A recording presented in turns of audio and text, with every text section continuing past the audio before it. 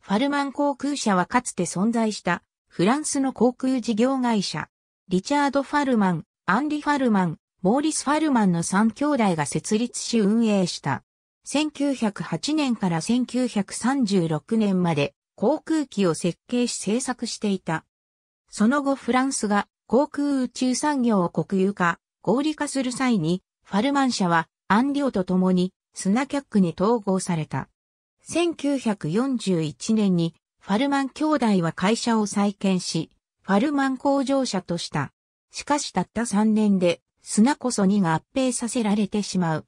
さらに1952年にもう一度ファルマン航空社を設立したが、その努力は実らず、会社は解散した。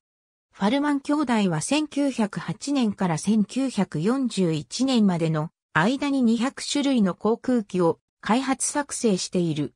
自社で飛行学校を経営しており、徳川義徳や重野清武などの外国人も受け入れていた。MF7 ロングホーン1912年12月でプレベザでの服用機 MF7 ロングホーン MF11